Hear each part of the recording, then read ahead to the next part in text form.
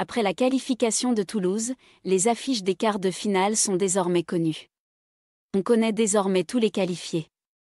Toulouse a décroché le dernier ticket pour les quarts de finale de la Champion Cup après sa nette victoire sur le Racing 92 31 à 7. Dimanche.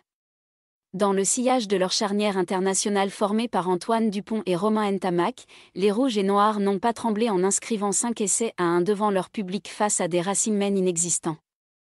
Au prochain tour, le stade toulousain recevra donc le club anglais d'Exeter, tombeur de batte samedi 21 à 15, le dimanche 14 avril à 16h. Les autres affiches sont également connues.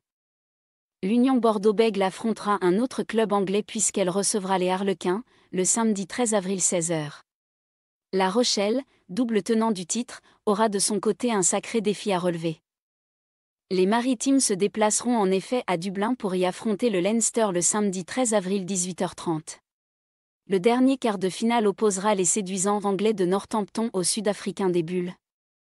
Également samedi mai à 21h.